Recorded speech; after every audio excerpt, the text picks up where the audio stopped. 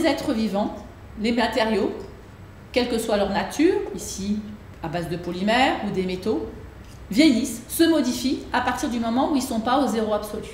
Alors ça peut paraître curieux parce que vous n'avez pas l'impression que ce petit morceau de métal va changer dans le temps.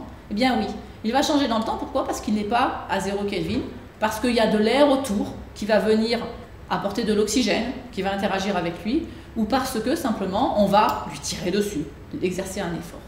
Donc nous, ce qui nous intéresse, c'est de comprendre ben, comment ce matériau vieillit, comment il se transforme, pour pouvoir, quand on va s'en servir, pour faire par exemple un train d'atterrissage d'avion, ou la pièce qui tient le moteur de l'avion sous l'aile.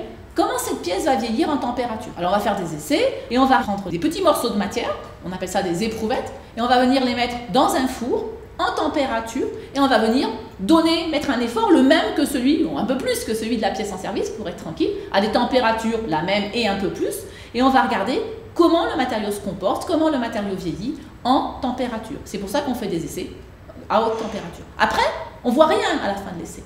Si, quelquefois, l'éprouvette a légèrement changé de couleur. Pourquoi elle a légèrement changé de couleur? Parce qu'à la surface, il y a un petit oxyde qui s'est formé. Cet oxyde, vous avez l'habitude, vous avez l'habitude de le voir sur le dos des cocottes minutes, etc.